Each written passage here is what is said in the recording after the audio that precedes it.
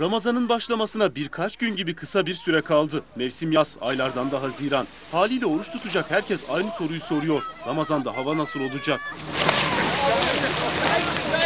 Merak edilen o sorunun cevabı Meteoroloji Genel Müdürlüğü'nden geldi. Haberler güzel.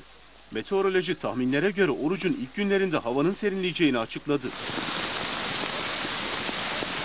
Hali hazırda hava sıcaklığı mevsim normallerinin üzerinde. Bu hafta İstanbul'un 30, Ankara'nın 28, İzmir'in ise 33 dereceyi görmesi bekleniyor. Fakat meteoroloji uzmanları hafta sonundan itibaren termometrelerin 3-5 derece düşeceğini tahmin ediyor.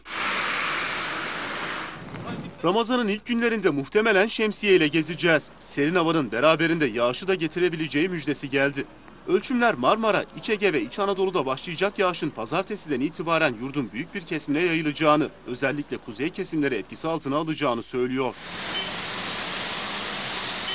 Ramazan'ın ikinci diliminde biraz daha fazla susayacağız. Kavurucu Afrika sıcağı yolda. Meteoroloji Haziran'ın 15'inden itibaren yurdun aşırı sıcak havanın etkisine gireceğini tahmin ediyor. Hatta sıcaklıkların mevsim ortalamasının 3-5 derece üzerine çıkması bekleniyor.